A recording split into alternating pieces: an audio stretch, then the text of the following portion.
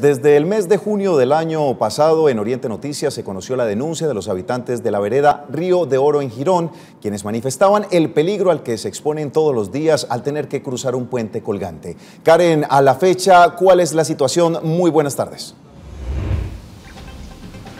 Pues la situación es compleja para los habitantes de la vereda Río de Oro, quienes diariamente tienen que transitar por este puente colgante que ustedes ven a mis espaldas. Un puente que lleva alrededor de 15 años y que a la fecha presenta un deterioro ocasionando peligro.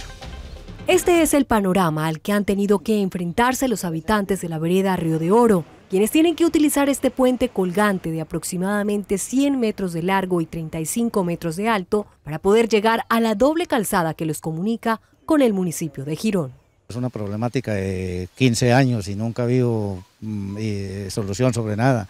Eh, aunque pagamos mm, impuestos, pagamos el alumbrado público, pagamos todo, pero no hay respuesta. Desde hace varios años este puente ha venido en deterioro, poniendo cada vez más en peligro la vida de estos niños, que a diario deben transitarlo para ir a recibir sus clases. Pero no solo ellos, también hay adultos mayores que se arriesgan al cruzarlo.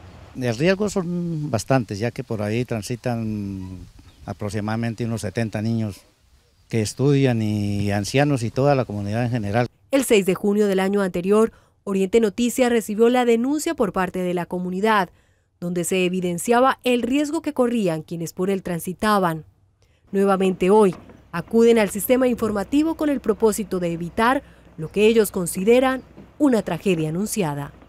Nosotros nos reunimos con la Junta de Acción Comunal y el apoyo de muchas personas que al menos nos dan por ahí las tablas, nos dan el alambre para nosotros poder sobrevivir sobre ese puente.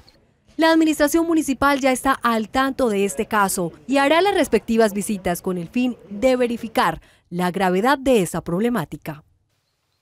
Oriente Noticias hará seguimiento a este caso para conocer qué respuesta o qué solución dan las autoridades locales para esta comunidad. Por el momento es toda la información. Continúen con más de Oriente Noticias. Feliz tarde.